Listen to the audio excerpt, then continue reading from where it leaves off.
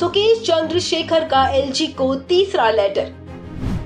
Jail में अपनी जान को बताया खतरा। जाने, सुकेश को कौन दे रहा है धमकी?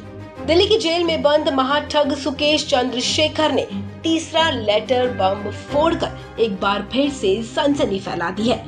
अपने तीसरे लेटर में सुकेश ने एक बार फिर दिल्ली के स्वास्थ्य मंत्री सत्येंद्र जैन और जेल डीजी संदीप गोयल पर गंभीर आरोप लगाते हुए उनसे अपनी जान को खतरा बताया है। सुकेश का आरोप है कि जैन और गोयल की तरफ़ से उसे लगातार धमकियाँ मिल रही हैं। महाठग का एलजी को लिखा गया ये तीसरा लेटर है। पहले दो पत्रों में भी केजरीवाल सरकार में मंत्री सत्येंद्र जैन और जेल डीजी संदीप गोयल पर गंभीर आरोप लगाए गए थे। वहीं इस बार भी दिल्ली के उपराज्यपाल विनय सक्सेना को लिखे पत्र में सुकेश चंद्रशेखर ने दावा किया कि पत्र लिखने के बाद सत्येंद्र जैन और संदीप गोयल की तरफ़ से लगातार उसे धमकियाँ मिल रही हैं। उसने कहा कि जेल में उसकी जान को खतरा है। आपको बता दें, सुकेश चंद्रशेखर ने एलजी विनय सक्सेना को तीसरी बार लेटर लिखा है। उसने पत्र में पैसे के लेन देन को लेकर आम आदमी पार्टी पर आरोप लगाए थे। इन चिट्ठियों में उसने सत्येंद्र जैन और संदीप गोयल पर भी प्रोटेक्शन मनी लेने का आरोप लगाया है। सुकेश ने अब इस पूरे मामले की सीबीआई जाँच की मांग की है।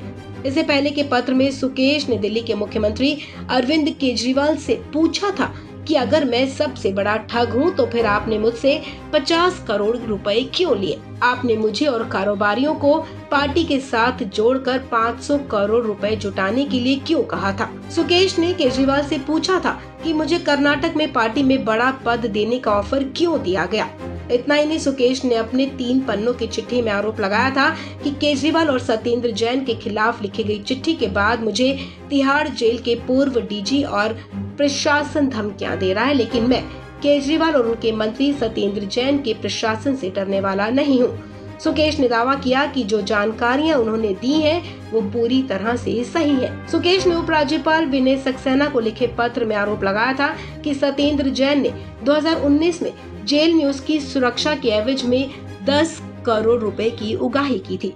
उसने आरोप लगाया कि उपराज्यपाल को लिखे पत्र के सार्वजनिक होने के बाद सत्येंद्र जैन ने तिहाड़ के पूर्व डीजी के साथ मिलकर उसे धमकी दी थी।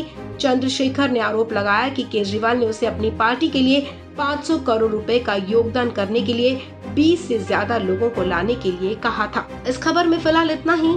तमाम अपडेट्स के लिए आप बने रहें वन इंडिया हिंदी के साथ।